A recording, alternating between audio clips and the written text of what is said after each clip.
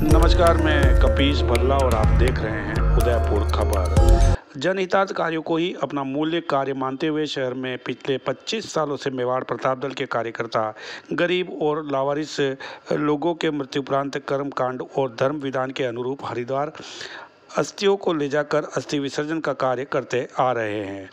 उसी के तहत आगामी आने वाली तेरह तारीख को मेवाड़ प्रताप दल के कार्यकर्ता उदयपुर से गरीब और लावारिस लोगों की 107 अस्थि कलश को हरिद्वार अस्थि विसर्जन करने हेतु ले जाएँगे। दल के कार्यकर्ता रमेश लालवानी ने बताया कि इस कार्य को जनसहयोग के माध्यम से किया जाता है।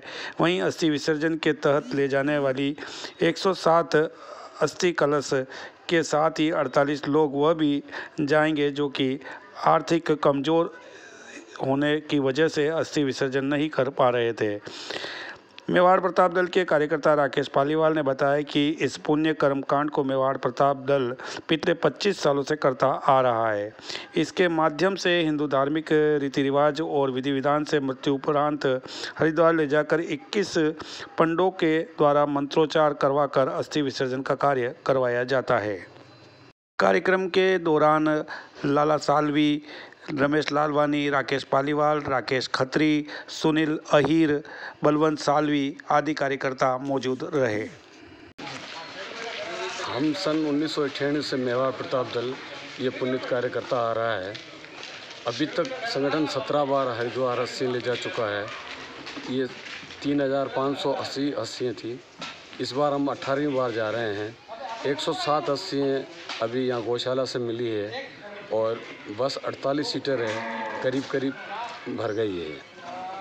और हर साल हम ऐसे व्यक्तियों को अस्थियाँ ले जाते हैं, जिनके परिवार किसी कारणवश नहीं ले जा पाते हैं। आर्थिक तंगी हो या और कोई भी कारण किसी से भी हो सकता है, हम उनका सहयोग करके उन ये अस्थि विसर्जन करते हैं। हम हर साल बस करवाते हैं। ऐसे व्यक्ति जो चलना चाहें, उनको भी निःशुल्क ले जाते हैं।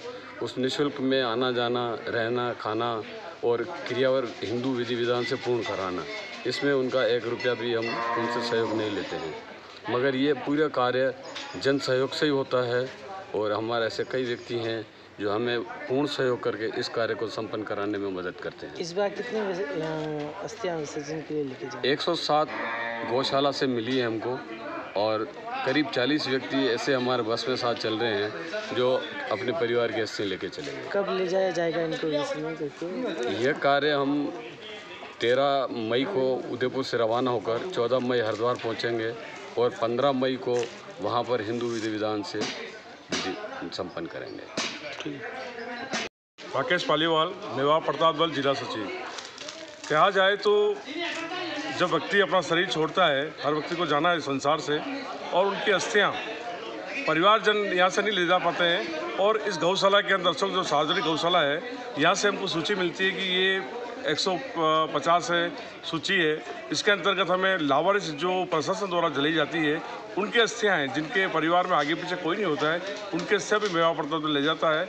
और इस पुण्य कार्य में उदयपुर की जनता को मैं निवेदन करूँगा कि आपको बताना चाहूँ हमारे पास सूची आई है, उसमें चित्तौड़ बेंगू प्रतापगढ़, डूंगरपुर ऐसे नाम भी आए हैं। यानी वो लावर से हो सकते हैं या उनके परिवारजन किसी कारण से हस्तियाँ नहीं ले गए ऐसे परिवार हमारे साथ आते हैं, जो किसी कारण से हरिद्वार की व्यवस्था में अपना योगदान नहीं दे पाते हैं, उसको मेवा प्रताप अपनी व्यवस्था से इस बार हमको अड़तालीस सवारी आ रही हैं जो उनके परिवारजनों की हस्तियाँ लेगी और एक सौ आठ जो हस्तियाँ हमें यहाँ से मिली है। इसके साथ ही चित्तौड़ और डूंगरपुर से कुछ हस्तियाँ की सूचना मिली है, वो भी हमको परसों पता लग जाएगा। तेरह तारीख के दिन माँ गायत्री शक्तिपीठ द्वारा या इन सभी की अस्थियों को पूजा कराई जाएगी, यज्ञ किया जाएगा। तत्पश्चात दस बजे कुछ अतिथियों के साथ यहाँ से रवानगी की जाएगी, जो पंद्रह तारीख हरिद्वार में सुबह नौ बजे वहाँ के पंडितों के द्वारा इक्कीस पंडित रहते हैं और गंगा किनारे विसर्जन किया जाएगा।